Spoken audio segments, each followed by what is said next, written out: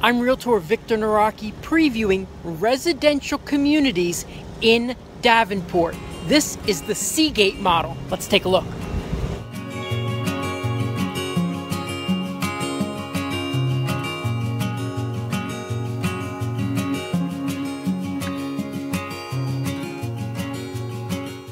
As we preview this home, remember that this community does not allow vacation rentals. It's a true residential community in Davenport.